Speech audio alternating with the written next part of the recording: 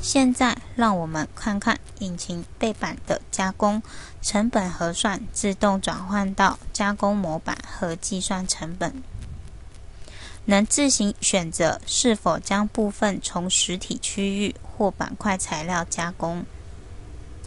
部分功能依照切割、显削和钻孔操作来排序。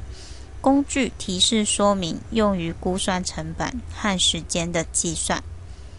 如果需要用于特定的显销和钻孔操作，甚至有复写类型和大小的工具功能。